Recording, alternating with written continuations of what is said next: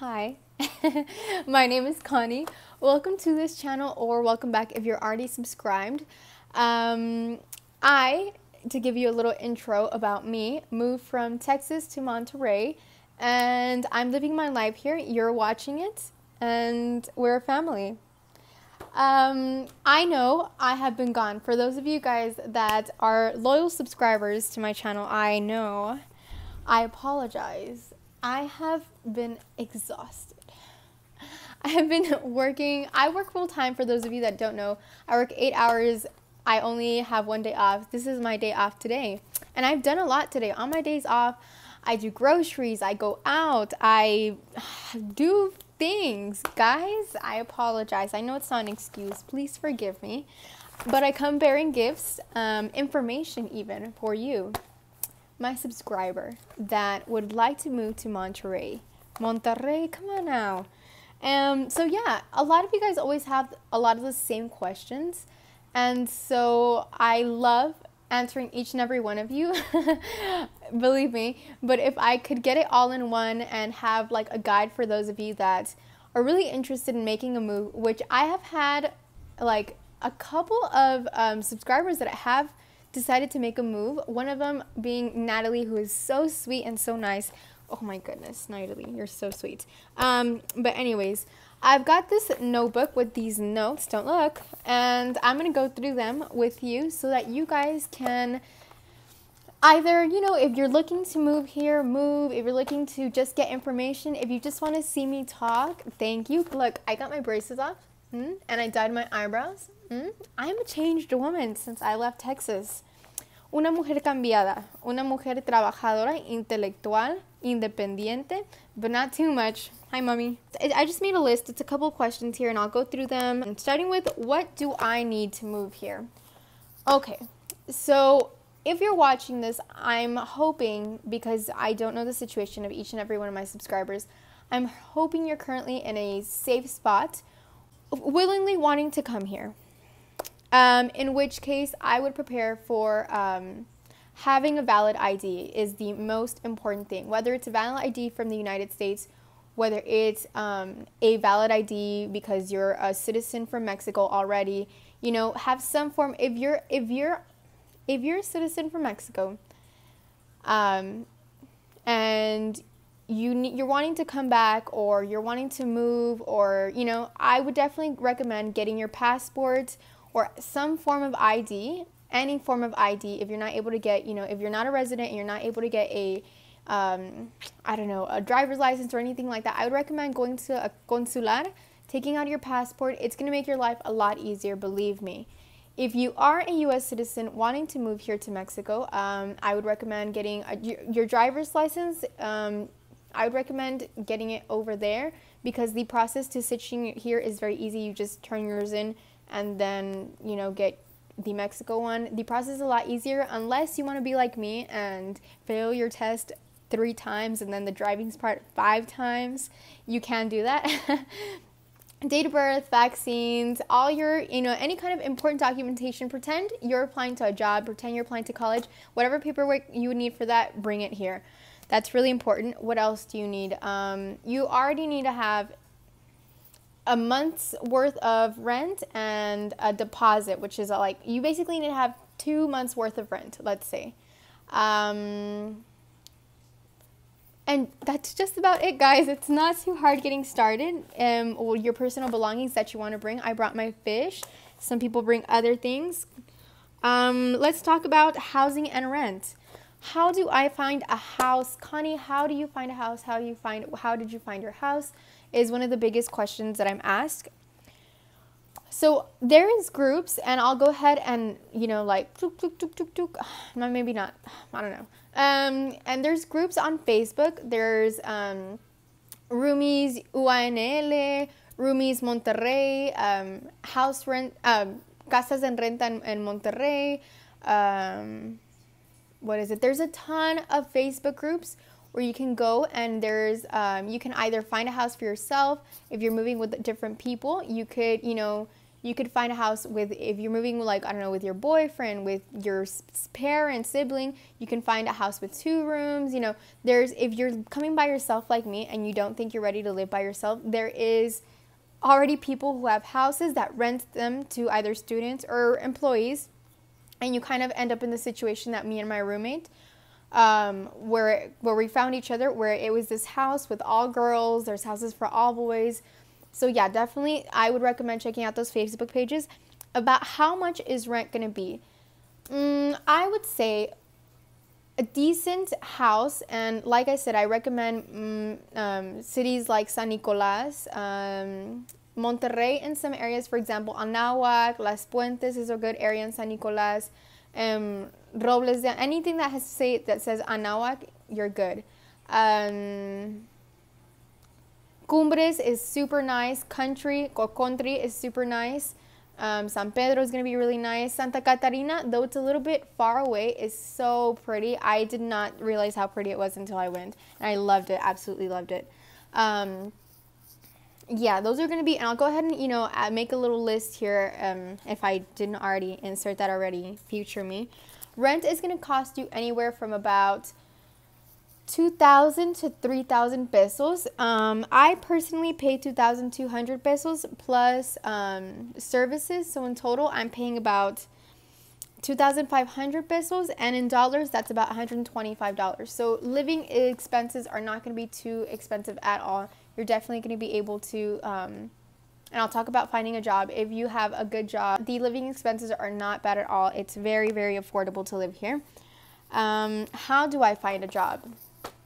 So this is what I did, and it may or may not work for everybody, but it's just what happened to work for me. Um, I've seen a lot of different people that make publications on Facebook, like, are you looking to, I don't know, sell this, or are you looking for a work from home job to do this? What I did is kind of like if I was in the US, I Googled jobs near me, um, Indeed.com, and I ended up working, or I am currently working in a call center, which I I know so many people that just I say call center, they're like, no. But I don't really understand why it's so bad. Okay, it's a little bit, I'm in a sales department, so I sell. Oh, I don't know if I'm supposed to say that. I'll go ahead and cut that out. Um, but if anybody's interested in or looking for a job, definitely DM me. Um, send me an Instagram message. I'll refer you. Um, it's a really easy process. Um, but it's a, it's a call center because I'm bilingual. They pay you a little bit more. Um, you don't have to necessarily be a sales representative. You could be customer service. You could be retention. There's a lot of different things that you can do. But you know, if that's not for you, the the what to do is, or what I recommend, fixing the lighting. Sorry. What I would recommend is you know going on Google jobs near me. Um, or you know driving around looking at like help wanted signs just like any other place guys Mexico is not Mars. Mexico is just South America. it's the same thing, guys. Don't um, you know, we're if you plan on moving here, you're not moving to a different side of the world or anything. We're just a couple hours down south. It's going to be the exact same process. Now, I have gotten questions like I'm I'm going to go ahead and answer them because there's no such thing as a dumb question. Um, I've gotten questions like Is there water? Is there uh, AC? Is there roads? And there is. Um, this is currently my house. This is my TV. I am on a cushioned bed. Um, I have a fan here if you want to see it. This is my fan, so there's definitely electricity. Um, I drive a truck on a road, so there is, in fact, all of those things it's it's it's not like the movies, guys. It's not like the movies where it's like an, a clay house or like twigs and like the little thumble rolls. It's not like that, guys. It's not like that at all. It's, it's a, watch my other videos, please. It's not like that. Okay. Um, expenses, other expenses other than rent. Um, we've got food. I eat. I eat, guys. I eat a lot. I spend about 600 pesos bi-weekly, so I spent about $30 bi-weekly on groceries. This does not count if I go out to eat or things like that, which believe me, I do limit myself. I not because I like don't have the expenses, but come on, like I wouldn't do it at home. I wouldn't go out to eat out every eat every day at home. So I'm definitely not going to do it here just because I can and just because my mom's not watching me. That's not how it is. I'm an adult. I earn adult money and I budget myself. I'm talking to myself at this point, not you guys. Sorry. Do I need to know Spanish? Um, yes and no. So Monterrey is a very advanced city. Um, everybody here is gonna know a little bit of English. Anybody who studied is has to know some level of English because a lot of the courses and the, the content is is taught in English and even Russian. I have friends who like know Russian because of the university. But while you don't need to know like a lot of Spanish, I would definitely recommend knowing things like, you know, your basic um, please and thank yous, your hellos, knowing your address, cómo puedo llegar a tal lugar, um, hola, buenas tardes, cuánto cuesta. You know, things you're going to use on your day to day basis. It's not hard to learn. You know, you memorize a couple of phrases. I know. You're. I know. It. I. I understand it's difficult to learn an entire language, but you don't have to learn the entire language.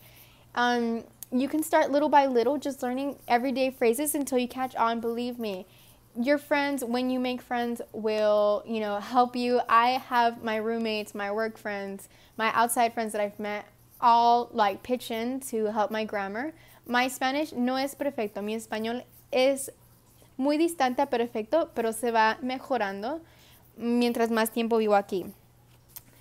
Um, how safe is it? Okay. Hmm.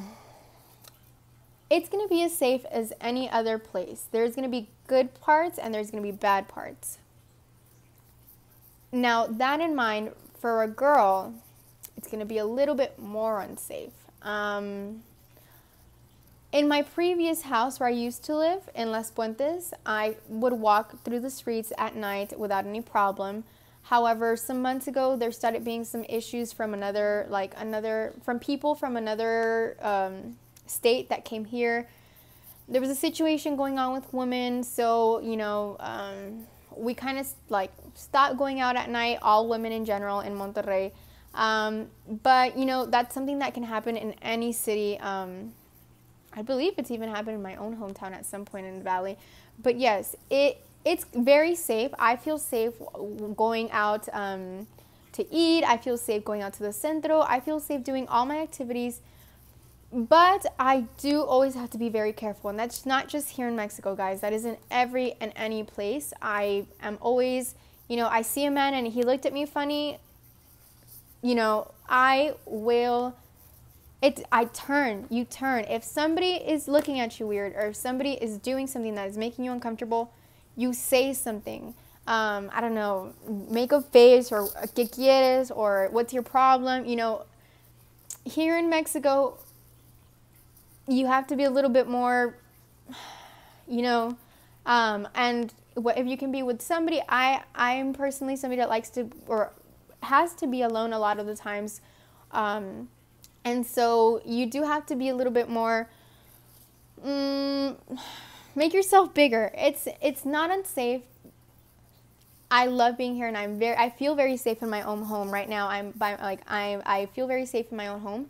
But of course, like I said, it's going to vary depending on area. If you're a woman and you're new, I would definitely recommend staying away from places like Independencia, um, Moderno, Topo Chico. Um, you know, just not because they're bad places, they're just not under the best reputations, move on, and, and that's fine. You don't have to go through there. There's not even metro stations that pass through some of those areas. And that's just about it, guys. Um, that's it. A little bit of an update on my life. Uh, I am presenting my exam once again for the uni in about two next week, in about next week on Saturday. So by the time you see this, it will maybe already be like Monday. So I'm doing it, guys. I'm doing it again. And let's see, I started going to therapies, not because I like felt bad or anything like that. I just think everybody should go to therapy at some point. You would not believe how good it feels to go to therapy sometimes. You know, just being able to talk about things. I'll make a video on that, the benefits of therapy by Connie. It's super great. Um, Christmas is coming up. We've got our tree already up. Maybe if you guys don't follow me on Instagram or Twitter, definitely do so. Um, I'm really excited and I wish I, I had more time to tell you guys about everything and I promise I do always try to get to it and I will get to it eventually. Um, but as for now, this is going to be the end of this video. I hope it was helpful. If you guys have any questions or would you like me to, or if you'd like me to do a part two, let me know. And, and that's it, guys. I'm going to leave you for tonight. I love all of you guys, my subscribers. Thank you so much. You guys, I have like 300 and something subscribers, like 353 last time I checked or something like that. Thank you so much. Hmm? Bye.